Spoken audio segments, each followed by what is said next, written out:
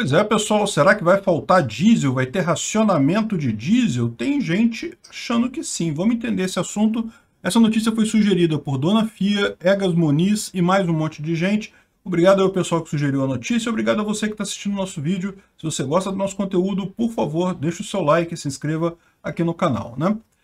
Pois bem, como é que está essa história toda? Né? A gente está vendo que é, o preço do petróleo no mercado internacional não para de crescer e deve crescer ainda mais nos próximos meses.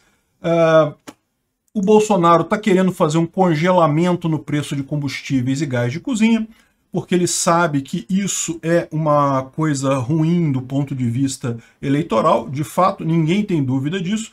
É o que eu deixo sempre claro aqui: o Bolsonaro deve se reeleger com certa facilidade o único problema que pode impedir isso é justamente se vier uma crise muito forte, se a inflação disparar muito, se o preço dos combustíveis subir muito. Mas o problema desse tipo de coisa, de congelamento, e aqui está falando congelamento, mas na verdade é, é, mentira isso daqui. Tá? Ele não falou em congelamento de combustíveis, ele tá, é, é, o que ele já vinha fazendo antes de criticar, é que esse jornal aqui é um jornal de esquerda.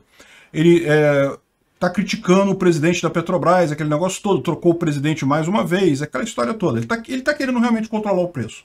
Eu não tenho dúvida disso. Não é um congelamento de preço direto, mas que ele está querendo segurar o preço, ele está. E aí qual que é o problema que isso pode gerar? Isso pode gerar um monte de problemas. Entre os muitos problemas que pode gerar é a falta de combustível, né?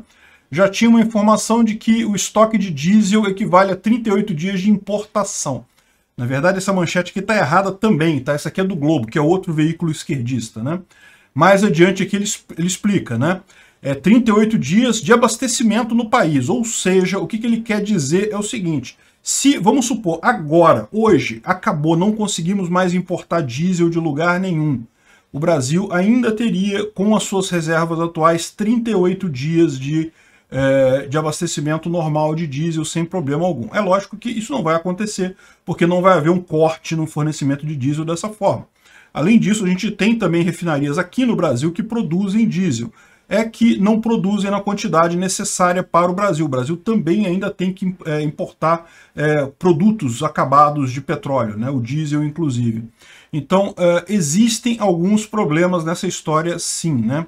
E o que, que o pessoal está falando aqui? Isso tudo para a gente entender essa notícia aqui, ó, que o governo federal já estuda um plano de racionamento emergencial do diesel. Isso aqui é uma notícia que teria vazado de dentro da ANP, Agência Nacional do Petróleo, coisa e tal, que é, teria sido avisada pelos é, diretores da Petrobras sobre esse risco. 38 dias de estoque não é um estoque ruim, tá? O problema todo que eles veem é o seguinte, é que no final das contas, o que, vai acontecer esse ano? No final deste ano, tem pelo menos três refinarias da Petrobras com manutenção programada. Ou seja, você sabe, uma refinaria tem que fazer manutenção. E para fazer manutenção numa refinaria é uma coisa que dá muita dor de cabeça. O pessoal vai lá e desliga a refinaria, para ela totalmente, faz a manutenção em todos os equipamentos. Tem alguma manutenção que pode ser feita só parcialmente, desligando parcialmente, mas geralmente é mais eficiente assim. Desliga a refinaria, faz a manutenção e tudo, depois bota ela para funcionar de novo. Então, tem refinarias programadas para isso no final do ano. O Brasil não consegue importar diesel suficiente, já está faltando diesel lá fora, justamente em função aí dos problemas, dos embargos e coisa e tal. Então, essa, esse é o alerta. Além disso, segundo ele diz aqui, existe um consumo maior de diesel no final do ano.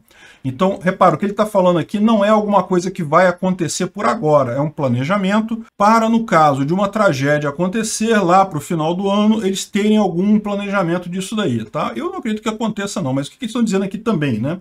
Eles falam aqui que o, o mês mais crítico deve ser entre setembro e novembro, bem na época da eleição, né? É, porque você tem um monte de efeitos aí juntos. Você tem o efeito primeiro, da safra brasileira, o pessoal está tá colhendo a safra brasileira de grãos, e esses grãos, a maior parte deles é transportada por caminhões até navios e coisa e tal, então tudo isso gasta muito diesel, e uh, então nessa época do ano tem um consumo maior de diesel de caminhões, Além disso, você tem as compras das empresas atacadistas esperando o Natal. Então, as, as empresas, o, o Natal e, a, e, o Black Friday, que é em novembro, né? Novembro dezembro são grandes épocas dos consumidores comprarem as coisas. Mas antes dos consumidores comprarem essas coisas, evidentemente as empresas de varejo elas já compram esses produtos dos fabricantes e daí tem todo um processo de entrega, de colocação em armazéns e coisa e tal. Então, esse é o risco. Existe o risco? Existir existe, mas é muito pouco provável que aconteça racionamento de diesel, né? E como eles estão falando aqui, o Brasil acabou se dando um nó nessa história do diesel. Por quê? Porque o diesel no Brasil, eles resolveram fazer essa separação, que só tem no Brasil isso, tá, gente? Não tem no resto do mundo, não. Que é, veículos é, é, comerciais, caminhões e coisa e tal, usam diesel, e carros de passeio usam gasolina. E fizeram isso por quê? Porque daí o governo dava subsídio no diesel para ajudar os caminhoneiros, mas aí quem tem carro de passeio que se ferre só se você tiver um carro de passeio muito grande, uma caminhonete muito grande, que você consegue usar diesel nela, né?